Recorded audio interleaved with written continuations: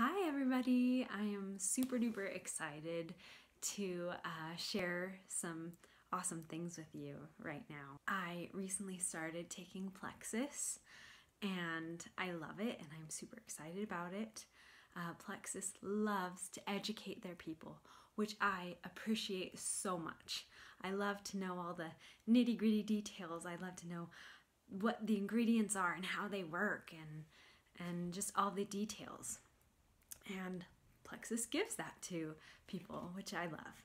Um, one of the th- things that I learned with Plexus is that 60% of our population have a um, the MTHFR gene mutation, and that means that you're taking a supplement um, and, for example, folic acid. If you have the MTHFR gene mutation, then you cannot process it very well, if at all. So I wanted to dig deeper. I wanted to learn more about this. Their multivitamin, X Factor Plus, it has methylated folate in it, not folic acid. I'm going to talk a lot about um, the MTHFR gene mutation and uh, everything I'm going to tell you about I found at mthfr.net. So if anybody wants to look that up, you can definitely look that up yourself. Um, if you pull that page up, the very first thing that pops up is this like hour and a half long video. This video is of Dr. Ben Lynch uh, giving a lecture to other doctors about uh, the MTHFR gene and methylation. Uh, MTHFR is a gene mutation. Genes make enzymes. The MTHFR gene makes the enzyme L5 methylfolate, and that regulates methylation in our body, which is very important. So, this enzyme, methyl, uh, methylfolate, L5 methylfolate, um, right there you know it has folate in it. That's why when we talk so much about folic acid and folate, um, that's why it's so important because of the L5 methylfolate. You have to have folate in order for you to have this enzyme, um, which regulates methylation. So let's talk a little bit about methylation and why it's important. I'm going to get into a little bit of chemistry here. Um, so you have a carbon, and carbons have four spots around it. If three of the spots are filled up with hydrogens, then it desperately wants that fourth spot to be filled up.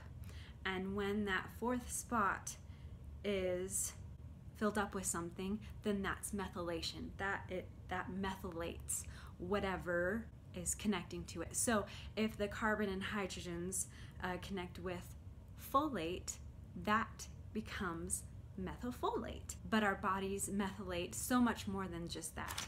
Uh, our bodies methylate enzymes, uh, vitamins, hormones, minerals.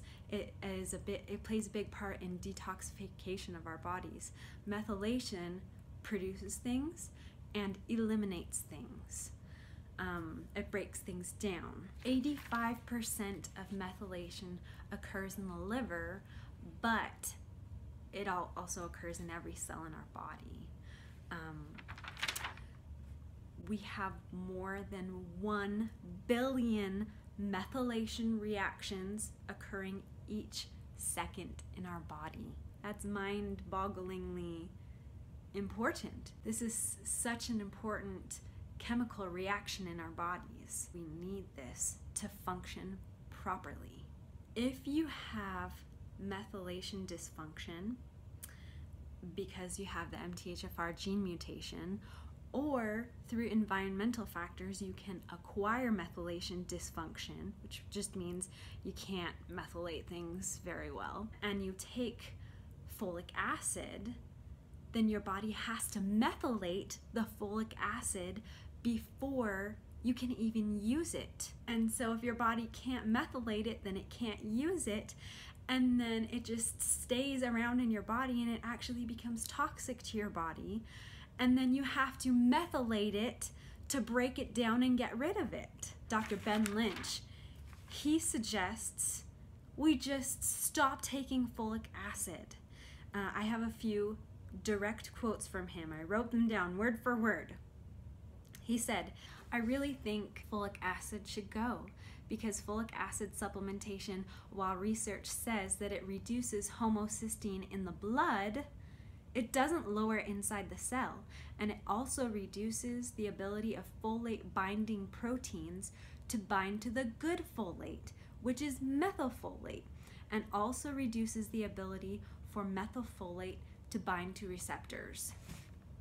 Like, is your mind blown yet? Because my mind was blown when I heard him say this. Here's one more quote that he said. Um, and this is specific, a, a, lot of women are concerned about folic acid. Um, haven't we all been told? Take folic acid, take folic acid. If you're thinking about getting pregnant, if you are pregnant, if you're breastfeeding, you need to take folic acid for your babies, right? Um, I know I heard that. Here's what he says. This is a, a scenario that he gives. So here's a breastfeeding woman taking folic acid. There's a high, high amount of folate binding proteins found in breast milk naturally. Why? To take the folate from the mother and carry it through the breast milk to the nursing infant.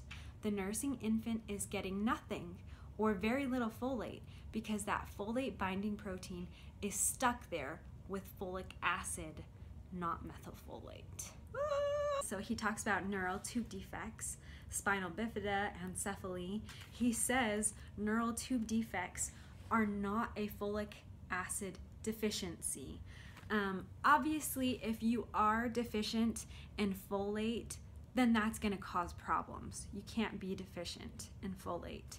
But he said it's a methylation issue. And so there's folic acid and there's folate. Folate is the B vitamin. It's the natural form that our bodies can assimilate and use. Folic acid is a man made synthetic uh, version of folate. He says folic acid was not found on this planet until we made it. The number one gene associated with neural tube defects is MTHFR. So you're probably asking yourself, what does this mean? How does methylation dysfunction present itself in our lives? Well, here are some implications of methylation dysfunction.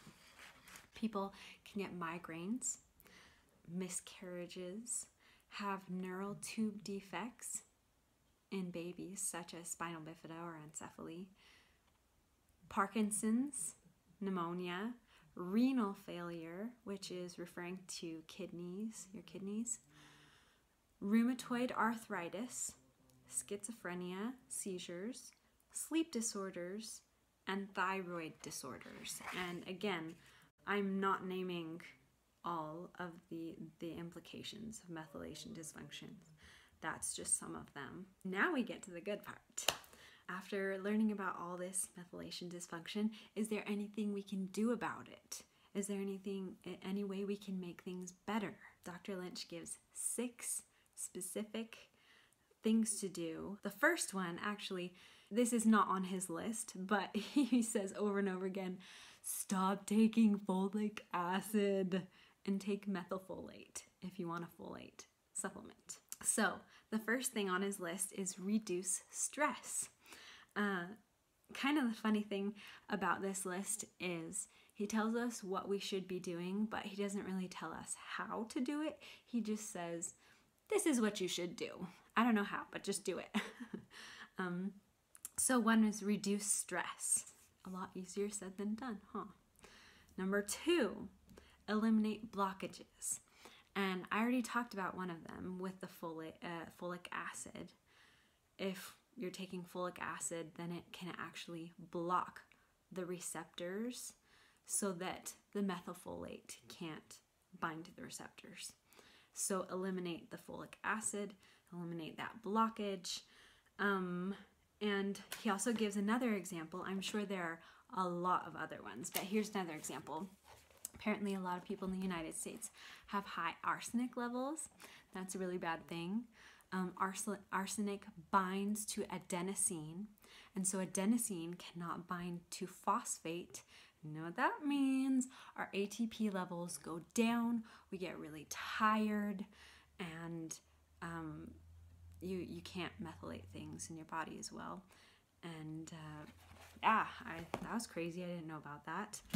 Um, so eliminate blockages. Number three is resupply nutrients.